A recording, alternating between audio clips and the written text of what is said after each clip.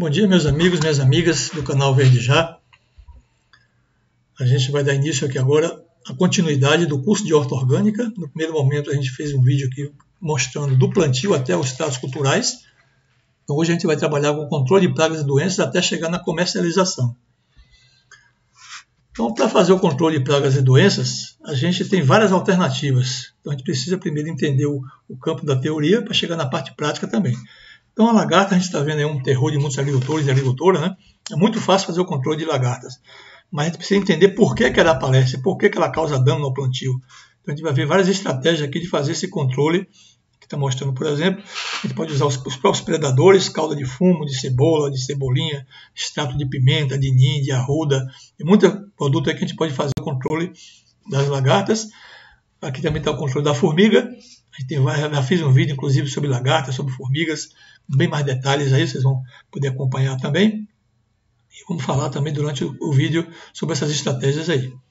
Aqui está o nosso canal Verde Já. Quem não conhece ainda, eu peço que visite lá o nosso canal. A gente tem publicado sempre que possível, toda semana, vídeos sobre agroecologia, produção orgânica, sobre agromeopatia, experiências práticas de agricultores. Então, quem gostar, se inscreva, compartilhem para ajudar nosso vídeo aí, nossa publicação. E inclusive preparei essa playlist aqui especificamente sobre esses vídeos que nós já gravamos sobre pragas e doenças. Então vocês podem consultar lá, aprofundar esse conteúdo aí, ó. vários vídeos que a gente já postou né, sobre controle de lagarto, de formiga, de cochonilha, de fumagina, vários tipos de, inclusive usando homeopatia, caramujos, né? Então vocês podem consultar essa playlist lá que eu vou colocar aqui na, na descrição, está lá no canal Verde Já. Então os princípios básicos que a gente tem que entender é que os insetos só são considerados pragas quando eles causam danos econômicos à cultura. Porque os insetos sempre existiram e sempre vão continuar existindo na natureza. Mas sempre tem os predadores, que a gente chama de inimigos naturais. Sempre tem uma, a presa e o predador. O predador é, é, o carnívoro, que come os insetos, e os insetos são vegetarianos, que comem os vegetais. Vamos ver como é que funciona isso aqui. Então, tem muitos insetos e predadores que a gente tem que guardar uma relação de, de preservar esses, esses, animais. Então, a gente tem, tem as abelhas, tem aí o sapo, as aranhas, os passarinhos, que comem muitos insetos, então nós temos que criar condições para que eles apareçam dentro da sua horta. Por isso que a gente, fala, a gente chama de redesenho da propriedade. Quanto mais diversificada tiver a propriedade, não somente com hortaliças, mas também convivendo com mato, né, com plantas que produzem flores, com árvores para atrair os passarinhos, né, com forrageiras, com frutíferas. Quanto mais diversidade, quanto mais a gente copiar a natureza, melhor.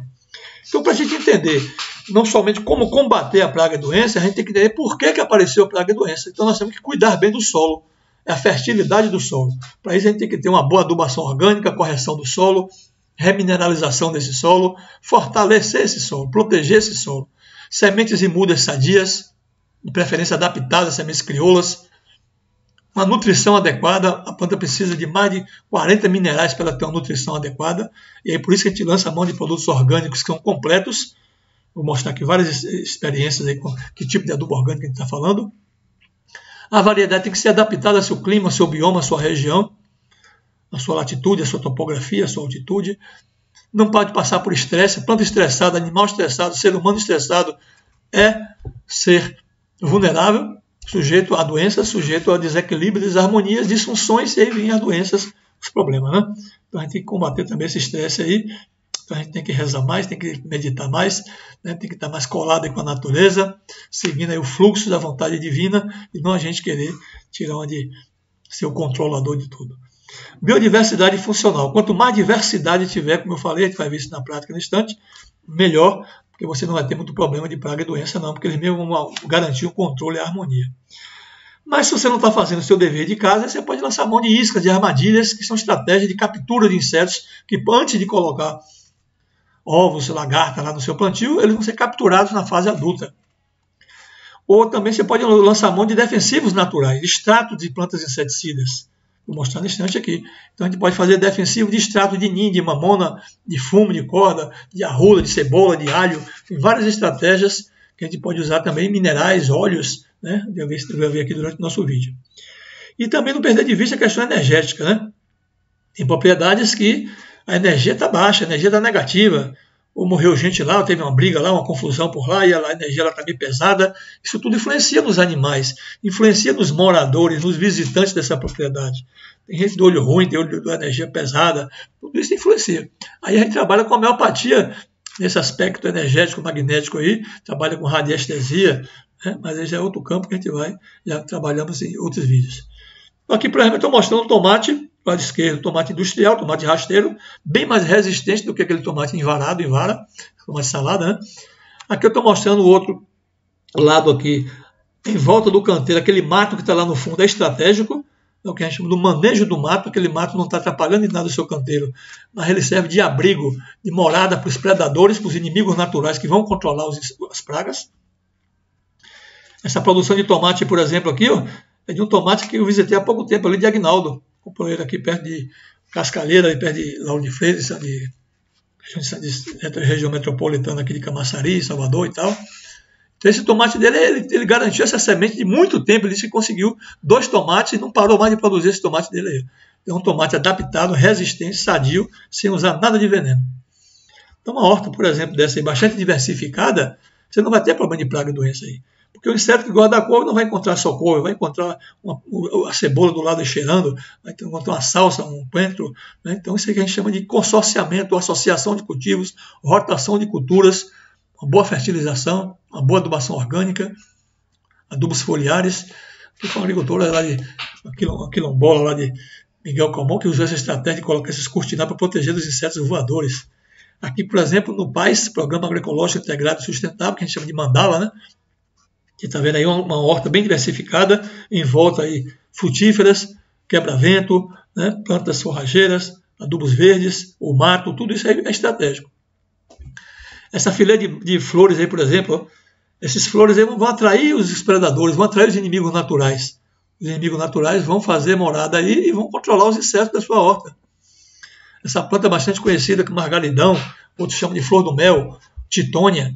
Essa planta atrai também muitos predadores que vão comer os insetos. Ela, além dela também fazer um papel importantíssimo no solo, que ela libera o fósforo que está fixado no solo. Policultivos, então esse abacaxi até ele produzir, você plantou tomate junto. Podia ter plantado tomate, couve, alface, rúcula, o que você quisesse. Então, isso é o que a gente chama de associação de cultivos. Ou a sucessão vegetal, uma planta dando lugar para outra. Ou a estratificação, cada um ocupando o seu andar. Então, a gente tem que ter esses fundamentos. Então, o primeiro princípio para a gente tá, saber trabalhar com praga e doença, para não ter problema, é equilibrar o sistema, como eu vinha falando há pouco. Né? Quanto mais diversidade, quanto mais combinação, quanto mais mistura, melhor para não ter problema de praga e doença. Então, se a gente quiser aumentar a fertilidade do solo, que é a base de tudo, um solo bem adubado, bem protegido, bem coberto, bem trabalhado, é um solo sadio, um solo fértil. Você vai ter uma planta também saudável, uma planta sadia, não vai ter problema de praga e doença. A praga e doença ataca a planta que está desnutrida que está maltratada, que está estressada, que está com o solo mal preparado. Então, para a gente garantir essa fertilidade do solo, que eu já fiz vídeos também sobre isso, falando de correção do solo, remineralização do solo, de adubos orgânicos, está tudo lá nos vídeos. Então, a gente pode usar, lança a mão aí, biofertilizantes, que é um adubo líquido, adubo foliar, planta de cobertura, cobertura morta, cobertura viva, adubos verdes, plantio direto e cultivo mínimo, mexer o menos possível nesse solo, fazer o plantio direto em cima do bagaço, em cima da cobertura morta, em cima do, da roçagem do, do, do, verde, usar composto orgânico, fazer rotação de cultura, associação de cultivos, consorciação, usar o pó de rocha para fazer a remineralização do solo. Então está aí o agricultor, por exemplo, fazendo uso aí da calagem, do corretivo do solo, que é o calcário, junto com o pó de rocha. Está corrigindo o solo e está remineralizando o solo. Depois é que vem aí, depois é que vai chegar o adubo orgânico, né, o esterco, composto, os adubos líquidos, o AM, biofertilizante, manipoeira, né, e por aí vai. Então você está cuidando muito bem do solo aí para você ter plantas sadias. Aqui, por exemplo, é o AM. Já fiz um vídeo sobre isso, especificamente sobre o AM, que é o micro-organismos eficazes. A gente coleta essa folhagem lá na mata, coloca o arroz aí dentro, os micro-organismos vão colonizar esse arroz, a gente pega esse arroz já cheio de bolô aí, separa os de cores claras, que são regenerativos, os de cores escuras são degenerativos. A gente descarta, devolve para a mata, bota no composto, no biofertilizante, mas de quer de cor mais clara que a gente multiplica aqui, ó, colocando no arroz, junto com a água, junto com açúcar, de preferência açúcar mascavo, demerara. Então a gente vai, durante uns 10, 12 dias, botar nesses vasilhames fechados, não cheio até em cima, mas vai produzir gás aí dentro. Todo dia você vai tirando esse gás, abrindo e fechando, 12 dias você já tem agora seu AM, você basta usar agora 50 ml, copinho de café para 20 litros de água, ele rende bastante. Então você tem agora sua fábrica, como eu tenho a minha aí, ó, de micro-organismos eficazes. Fundamental para dar resistência às plantas, para fazer um enraizamento mais profundo, para se associar com os micro-organismos do solo, para vivificar esse solo. Isso é o que a gente chama de fertilização biológica. Então está aí usando o EM e o biofertilizante e o produto homeopático lá em cima do pulverizador. Homeopatia, biofertilizante e o EM. Você vai dar uma fertilização do solo boa. Aqui o Noela em Triunfo, em Pernambuco, com seu biofertilizante, que a gente pode fazer, inclusive, o biofertilizante enriquecido, não só esterco e água, mas também botar mato, botar melaço, botar fubá, botar leite, que tiver alguma coisa para botar, e vai botando. Calcário, um pó de rocha, um fosfato natural, uma farinha de osso, porta de mamona, tudo para enriquecer. Então você vai ter agora cascas de frutas doces, né? Então tudo isso você tem agora. Olha essa fotografia aqui, ó. Do lado esquerdo, o plantio todo queimado pela geada. Do lado direito, o plantio que ficou não, não, foi, não, sofreu o ataque da geada. Por quê? Porque o agricultor tem conhecimento, tem experiência com a agroecologia, ele usou água de vidro. Então ele usou aqui a cinza com a cal, que eu já falei dessa água de vidro. 100 gramas de cinza, 100 gramas de cal virgem, ou cal hidratada. Derrete as duas de um dia para o outro, coa e joga em 20 litros de água. Pronto, a planta agora está rica em silício, ela está com uma, folha mais grossa, agora resistente, já está rica em cálcio também, e não está sujeita a praga e doença. Um plantio desse aí, como a gente vê muito na agricultura sintrópica, agricultura agroflorestal, tá? entre as fileiras de frutíferas, de madeireira, de forrageira, né?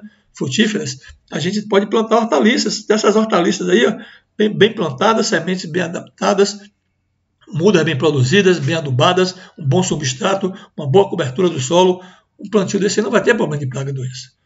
Então, na natureza, não exige crime nem castigo, só consequências. Então, a gente tem que saber trabalhar com a natureza e não contra ela. A gente precisa estar sempre visitando o nosso plantio para evitar qualquer surpresa. A gente está sempre acompanhando se está tendo problema ou não de praga e doença. Se tiver, a gente vai corrigir.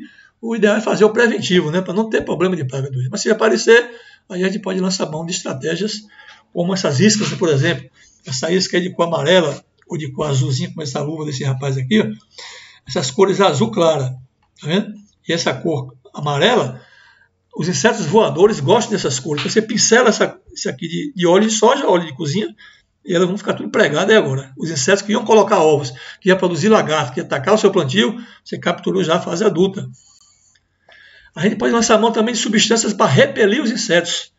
Então a gente pode lançar mão, por exemplo, aqui é uma estratégia da casca do ovo. Aqui é um conhecimento popular. Então, o predador, o inseto voador, que ia colocar os ovos nessa couve, esses ovos iam virar o lagarto, a lagarta ia comer a couve, quando ele vai visitar essa couve e ver esses ovos graúdos aí, ele imagina o quê? Aqui tem um predador muito maior do que eu, no caso aqui a galinha, a cocá e tal. Ele vai dizer, rapaz, não vou encostar aqui nessa bicha, vai me comer aqui, vai me, pegar, vou me mandar daqui. E se manda. Esse plantio de hortelã também não está por acaso, não. É uma planta repelente, cheiro forte espanta os insetos.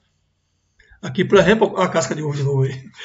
Aquele jogou em volta do pé aqui das, das suas hortaliças, a canela. Canela e o cravo pode ser repelente de insetos.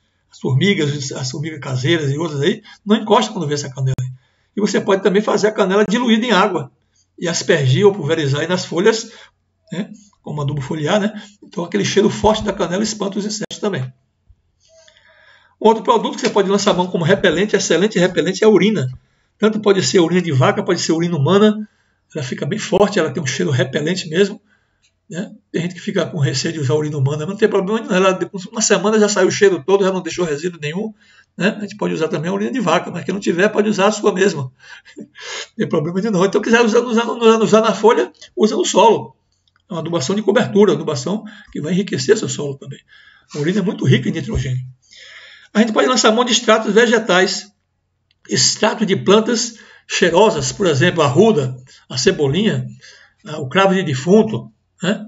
o coentro, a salsa, a cebola, o alho, são plantas ou extratos vegetais que têm cheiro forte. Ou até plantar também nos intervalos, na, na, nas bordas, nas bordaduras da horta, do canteiro, essas plantas de cheiro forte. Então você pode plantar manjericão, você pode plantar guiné, você pode plantar algumas plantas que têm esse cheiro forte para espantar mesmo os insetos. E as plantas atrativas são essas flores que vocês estão vendo aí. Então a flor e o mato servem como abrigo para os predadores. Então, as flores são muito visitadas pelos predadores. Então, estrategicamente, você faz isso também na sua horta.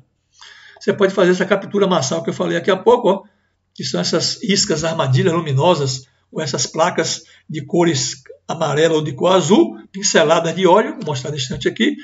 Então aqui no caso, ali, aqui embaixo, ó, vocês estão vendo aqui uma armadilha luminosa. Aqui é uma armadilha luminosa, você acende isso aqui durante a noite, claro, né? Os insetos de hábito noturno vão ficar dando voltas aqui em volta dessa luz. Aqui tem uns anteparos aqui do lado, ó. Então os insetos vão ficando ou grudados aqui, ou se bate aqui nos anteparos e cai aqui embaixo, que tem uma bacia de, de, de água com uma, uma, um pouquinho de óleo, de óleo de soja, óleo queimado, que eles vão ficar grudados as asas aí, não vai conseguir voar e vai morrer afogado. Observe aqui, por exemplo, um vasilhame de cor amarela, ele pincelou aí, vocês estão vendo aqui agora, pincelou com óleo e pendura essas garrafas aí na, na própria horta do seu plantio. Os insetos vão ser atraídos por essa cor, vai ficar grudado nesse óleo aí e vai morrer. Não vai botar mais seus ovos, suas lagartas lá no seu plantio. Aqui esse cone invertido aí para proteger a formiga, né? Proteger a muda da formiga, a formiga vai querer subir e não consegue subir. Então tá aí. A gente pode lançar mão também de inseticidas naturais. Né? Então vamos ver alguns deles aqui. Então isso aqui tudo são vídeos que eu já gravei, está lá no canal, está lá na playlist. Então o vídeo de NIM, por exemplo, eu estou mostrando aqui como é que prepara o NIM. O NIM é bastante conhecido aí, o pessoal das abelhas está reclamando muito com ele aí. Mas é, é um extrato de uma planta inseticida. O NIM tem mais de 40 propriedades medicinais. Uma delas é ser vermífugo, é combater pressão alta, é combater colesterol e combater insetos também. Então a gente pega um meio quilo, mais ou menos, meio quilo, um quilo de folha de NIM aí, tira ali dos, dos talos, né, para não embuchar ali, para não danificar o, o liquidificador, faz uma calda forte deles aí, bota misturado com água e com um pouco de álcool, porque o álcool é um fixador. Depois de uns 5 a 7 dias, você tem agora o extrato do NIM. Você vai coar esse material e com meio litro a um litro desse extrato para 20 litros de água. Excelente inseticida para qualquer tipo de insetos. Aqui nessa figura do meio aqui, ó, eu estou mostrando aqui um detergente, que pode ser qualquer detergente, de, de, de coco até melhor, e óleo. Então você pega meio litro de óleo, o meio litro aqui do detergente, mistura na garrafa PET, vira um litro, né? Balança bem aqui, vai ficar um, um líquido de cor de leite, esbranquiçado. Você basta pegar um copo, um copo desse, dessa mistura, certo? E colocar num pulverizador de 20 litros. Se você quiser, você pode colocar também o extrato NIM junto já com, esse, com essa emulsão aqui do óleo com detergente. Aqui a gente também tem outros produtos inseticidas. Está aqui a, urina, repelente. Está aqui a casca de, aqui no caso de angico, região semiada, região da caatinga aí, tem muito esse angico aqui, essas cascas aqui tem um tanino, que é uma substância tóxica para os insetos. Aqui a gente tem o fumo de corda, que faz certificação orgânica, os certificadores estão proibindo já esse fumo de corda, porque ele é muito forte. Esse aqui está até exagerado, é de arapiraca, né?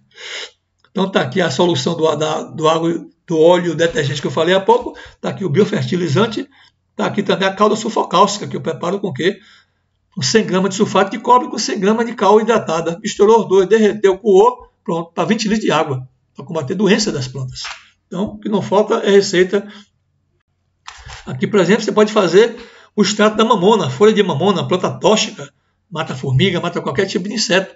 Então você prepara aqui, tritura essas mamonas tudo aqui, essa folhagem também no liquidificador, faz o extrato com álcool e depois coa e aplica. Se quiser aplicar até junto já com o óleo detergente, como eu falei há pouco, fica melhor ainda. Porque o óleo detergente ele gruda nas, nas asas do inseto voador ele não consegue mais voar, ele fica asfixiado, ele fica sem oxigênio e sem poder voar e morre. Aqui a gente está usando a, a, laranja podre aí, cheia desse bolor branco aí, que é o asper, é o fungo, né, penicílio. Esse, aí você joga no, no, buraco da formiga.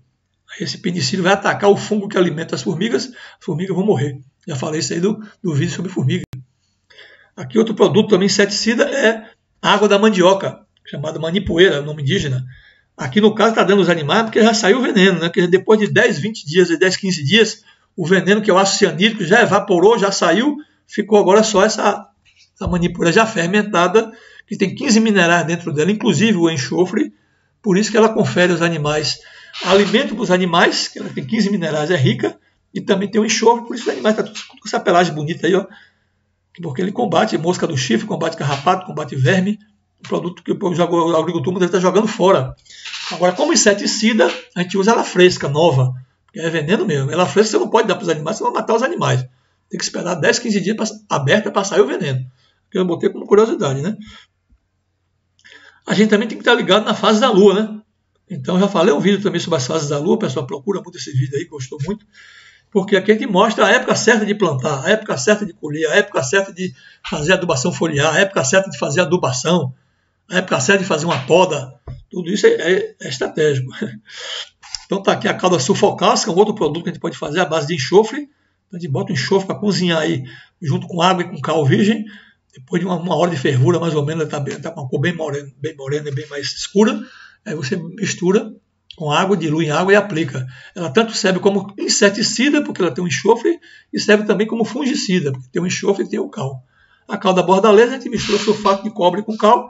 Falando rápido assim, porque isso tudo já está nos vídeos, viu, gente? A gente mistura 100 gramas de sulfato de cobre, 100 gramas de cal hidratada, bota para derreter, depois coa e bota em 20 litros de água. Você tem sua calda bordaleza agora para combater doença das plantas, muito utilizada em frutíferas e hortaliças. Biofertilizante líquido, você pode também fazer, já falei do biofertilizante, do EM, do, da manipoeira. E a gente pode lançar mão também de uma ferramenta importantíssima, inovadora, que é a homeopatia. Também já mostrei os vídeos desse sobre homeopatia, né? Aqui, por exemplo, um terror de muita gente nas hortas, ó, é o caramujo. Então, esse caramujo aqui, africano, a gente pode fazer o controle dele com o próprio caramujo. A gente coleta alguns caramujos desses, faz a tintura mãe. Depois da tintura mãe, a gente vai fazer o que a gente chama de coar, vai fazer a diluição e a sucção até chegar na 6CH. Então, existe cartilha de homeopatia, também já está no Google lá, só procurar.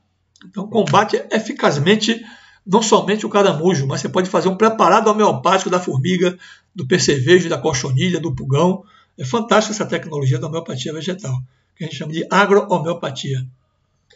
A gente pode lançar mão também do controle biológico. A gente pode usar os próprios predadores, que eu já falei, atrair os predadores para eles fazerem o controle.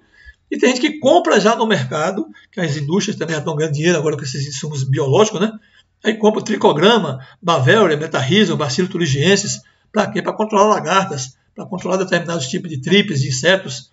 Então, são parasitas, né? eles vão parasitar os insetos como verdadeiros predadores mesmo. Mas eu posso fazer isso na propriedade, atraindo os predadores, criando condições para eles chegarem na minha propriedade e coletando também o EM, que o EM é seu microorganismo eficaz, que tem isso aí tudo dentro dele.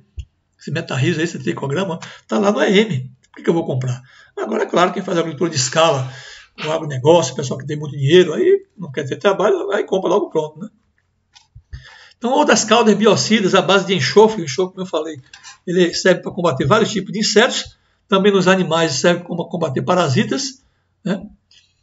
A cinza, ela, como eu falei, da água de vidro, né? a gente pode fazer a cinza, a água de vidro, que é o preparado de 100 gramas de cinza com 100 gramas de cal, cal virgem ou cal hidratada, e 20 litros de água. A cinza a gente pode usar também como fertilizante para adubar o solo. Então, 100 gramas de cinza por metro quadrado de canteiro, excelente adubo. Eu posso botar cinza para enriquecer o biofertilizante, para enriquecer o composto orgânico. Então, a cinza é excelente alternativa, barata, simples, eficiente, não tem custo nenhum, é só ir buscar. Extratos vegetais, já falei aí, vários tipos de extratos. São plantas inseticidas, extrato de mamona, extrato de nim, de, de vários inseticidas, né? por exemplo, a, a cebola, o alho, cravo de defunto, angico. Não falta é produtos para a gente fazer os extratos. Óleos e sabões, né? tem a pimenta também, né? Pimenta é um inseticida muito forte, que está unir. Então a gente pode lançar mão também de óleos e sabões. Tem gente que compra óleo mineral, mas o óleo mineral é mais caro, você usa 1%, um litro de óleo mineral para 100 de água, 99 de água, né? Ou então você pode usar óleo de cozinha, óleo de cozinha junto com detergente, que é muito barato. Você pode usar o sabão de massa, o sabão de coco de preferência, 400 gramas, aquela barra de sabão de 400 gramas, ralando ele, derretendo na, no fogo, coando, misturando em 20 litros de água, já é suficiente para combater qualquer tipo de, de cochonilha, de pulgão, de tripes, combate tranquilamente. Então você pega logo o detergente líquido com óleo de soja, faz aquele preparado que eu já falei, bota um extrato também junto aí de, de pimenta, de, de fumo de, de, de mamona, e aí pronto, não tem mais nada, você ganha essa guerra tranquilamente com os insetos. Então, as finalizações dessa parte de controle de praga e doença, ó, garantir o equilíbrio do ambiente, a harmonia o máximo diversificado possível. O principal insumo é o conhecimento a experiência do ser humano. O foco principal deve ser o sistema e não a cultura ou a praga e a doença, é equilibrar o sistema como um todo. Os insumos devem ser direcionados não só as consequências, mas corrigindo as causas. Então é melhor fazer uma boa adubação, uma boa correção do solo, uma boa remineralização, adubos foliares, né? adubos orgânicos. Aí você não vai ter problema de praga e doença. Então não é combater a praga, combater a doença. Combater o que está gerando elas, que é, o, que é a causa, e não só combater efeito. Então as pragas, elas não são a regra, são o efeito das consequências. Né? Aí você consegue realmente produzir tranquilamente, sem problema de praga e doença nenhum. Então você vai ter aí um produto desse aí sadio, natural, orgânico, limpo, para garantir sua saúde. E você vai levar agora para comercialização os seus produtos. A gente vai levar para os entrepostos. A gente pode levar o produto já processado também. A gente pode vender através de cestas, no varejo ou no atacado. A gente também tem que garantir uma fidelização do nosso cliente, tratando o cliente bem.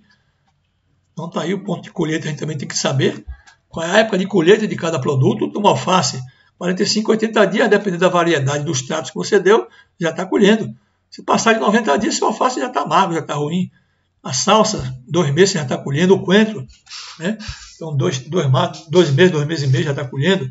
Você plantar um rabanete e demorar mais de um mês para for colher, você já perdeu o seu rabanete. Ele com 25 dias, 20 dias, 25, 20 a 25 dias está produzindo, senão ele vai rachar, vai dar problema, faltou boro, lá. Então você tem que saber o ciclo de cada cultura também, né? Então tá aí a garotada já desde cedo trabalhando com hortaliça, é muito interessante, colhendo e consumindo em saladas, em sopas, em essas verduras aí. É muito bom botar a criançada já desde cedo, hoje, os filhos de vocês, nossos filhos, para já gostando de plantar, gostando de colher, gostando de consumir hortaliças, que a maioria não gosta, fica comendo produtos processados aí, cheio de doenças já, né? Então tá aí agorizado com a mão na massa. Para você comercializar também é bom ter um atrativo como uma barraca dessa aí, né? Essa aí com certeza vai ser sucesso no Instagram, Facebook, nas redes sociais, na internet, né? Então você pode fazer uma feira livre também, vender diretamente ao consumidor. Isso é bom porque ganha é uma relação de ganha-ganha, né? Não é uma relação apenas mercantil. Você agora vai garantir sua fidelização, sua clientela, mas para isso você tem que tratar bem seu cliente, né? Então, aqui a Feira de Jacobina, então, aqui eu conheço a turma toda que já dei curso para esses meninos tudo aí. Então, tá aí o Isaías, está aí a Cida, tá aí a Ana de Leel. Então, esse pessoal já produz tudo orgânico hoje. Né? Então, eles trabalham com hortaliças, com frutas, com flores, com derivados, com raízes, com tubérculos, com açafrão, com é, remédios, com sucos, né? com polpas, com doces, com bolo, com geleias. Então, eles trabalham tudo já processados, inclusive. Porque o consumidor Aqui, exemplo, ele botou essas flores aqui, não foi por acaso, não. Aqui é para atrair já. Os primeiros fregueses chegaram, vai querer logo bater um papo com ele, conhecer essas flores, querer comprar um pouquinho dessas flores também, e já você já começa a garantir sua clientela. Para garantir a clientela, a gente também tem que ter diversificação na produção, não, não levar só um, dois, três produtos. Quanto mais diversidade, melhor, porque o cliente quer comprar mais coisas. E se fizer um produto pré-processado, melhor ainda. Você já leva, por exemplo, um aipim já descascado, um feijão de corda já demolhado, né? um cortadinho de couve, porque o cliente da cidade grande não quer ter mais esse trabalho, não tem tempo, é correria danada, então ele paga até um pouco mais caro por esse produto já pré-processado. Aqui, por exemplo, você vender o cacho de banana por um preço barato, por machucar, transportar, você já vende a banana passa. Ganha muito mais dinheiro desse jeito. Já faz um doce. Aqui, por exemplo, o agricultor pode vender também as cestas. Então, tem muita gente hoje já anunciando na internet, nas redes sociais, o que é que ele produz o que é que ele tem de, de, produto naquela estação, naquela época do ano, o cara liga e ele manda entregar, no, ou ele mesmo aluga um carro para levar, ou mototáxi, ou ele mesmo leva e está entregando nas residências. Então é uma estratégia de vendas também, a cesta orgânica. Você também tem uma estratégia de comercialização que é o mercado orgânico, mercado institucional. Então você pode produzir para vender para o PA e o PENAI, que é o Programa de Aquisição de Alimentos, Programa Nacional de Alimentação Escolar. Então o governo federal tem esses programas para atender as escolas alimentação escolar, que a gente não deve mais chamar de merenda escolar, que dá a ideia de merendinha, né? Então, é alimentação escolar de preferência orgânica. Inclusive, o governo paga 30% a mais se o seu produto for certificado, for garantido que é orgânico. Então, a estratégia também de escoar sua produção é vendendo para o mercado institucional. Então, para tá as barracas também, muito interessantes, que é o contato direto do produtor com o consumidor. Esse agricultor faleceu há pouco tempo, é o Jones, lá de Pernambuco, tive a oportunidade de conhecer ele, a esposa dele, Dona Leni, é uma propriedade muito bem diversificada, é um exemplo de produção agroflorestal lá de Pernambuco. Então ele leva para levar seus produtos tudo para a feira aí, ó, não só hortaliça, mas frutas, tubérculos, raízes, geleia, doces, remédios. Então, máximo possível que ele possa produzir da propriedade e beneficiar esses produtos também, porque isso agrega valor. Você ganha mais dinheiro vendendo um bolo, uma geleia, um remédio, né? Só vendendo in natura. Outra estratégia é vender também através de cestas, né? Como eu falei há pouco, Então, você levar esse produto até o consumidor, tem muito mercado interessante hoje também, é o CSA. São consumidores que sustentam agricultores, grupo de consumidores que já pedem os produtos ou vão lá buscar seus produtos com, e eles até adiantam o dinheiro para os agricultores. Os agricultores, com esse financiamento, com esse adiantamento, já produzem e já garante a entrega para ir abatendo daquele dinheiro que ele recebeu adiantado dos consumidores. Isso é chamado CSA. Agora, quando você vai vender para outro município, para outro estado, aí seu produto tem que ter certificação. Né? Então, o selo vai garantir que seu produto é realmente orgânico. Então, existe certificação por auditoria e certificação participativa, que é a mais recomendada para os agricultores familiares, agricultores camponeses e camponesas, porque sai mais barato fazer uma certificação participativa. Então, está aí uma colheita de produtos orgânicos, limpos, sadios, garantindo a saúde, garantindo um preço justo e garantindo também essa relação campo e cidade, né? Essa relação que precisa se estreitar mais a cidade com a zona rural. E para finalizar, está aqui a experiência de Carlos. Carlos, o pai dele, trabalhava no polo petroquímico de Camaçari, voltou para a zona rural, começou a trabalhar orgânico. O Carlos foi no embalo dele, esse de chapéu grande aí, ó. Eu estou do lado dele aqui, a Belinha, o secretário da Agricultura de Santa Bárbara. Tá, eu fui levar essa turma para visitar a experiência de Carlos. Tá a Agricultura de Santa Nova também, que eu passei lá, peguei ela para ela conhecer. E o Carlos, hoje, como filho desse agricultor, está lá hoje no vácuo dele, já produzindo orgânico, vendendo na Universidade Estadual de Feira de Santana, na UFS, na UFRB, na Universidade Federal do Recôncavo da Bahia, vendendo as feiras orgânicas, também tem as feiras lá na cidade de Feira de Santana. Então está aqui essa beleza de produtos. Então, aquele já tá, a gente já coincidiu a nossa visita lá, que estava colhendo, lavando esses produtos, preparando já, embalando para levar para a feira no outro dia. Né? Então isso aí é autonomia, isso aí é independência, isso aí é liberdade, isso aí é uma produção natural e garante ao produtor sua renda com dignidade, né, promovendo saúde, promovendo preservação do meio ambiente, né, e é bom para todo mundo. Ok? Então a gente agradece a atenção de vocês. Se quiser fazer o debate com a gente lá no chat, aí pode tirar, fazer suas perguntas, tirar suas dúvidas, né, dizer o que gostou, dê seu like, compartilhe. E a gente agradece a atenção de todos. Quem não conhece o nosso canal aí, visite o nosso canal Verde Já, se inscrevam, compartilhe, dê seu like, né? E vamos em frente. Então, que Jesus nos abençoe, que Jesus nos dê muita paz, muita saúde, muita proteção e até a próxima. Então, namastê.